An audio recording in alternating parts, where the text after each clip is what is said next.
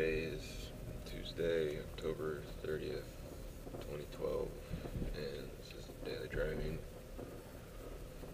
I haven't gotten out of the house in a couple days.